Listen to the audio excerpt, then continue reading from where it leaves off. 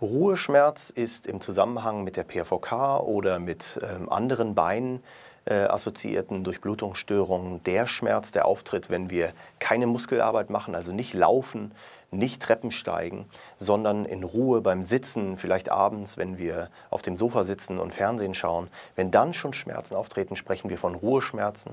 Und das ist deswegen so wichtig, weil Ruheschmerzen eine Grenze zwischen der elektiv zu behandelnden Claudicatio intermittens, also der Schaufensterkrankheit, und der wirklich fortgeschrittenen chronischen, extremitätengefährdenden Ischämie darstellt, wo das Bein in Gefahr ist.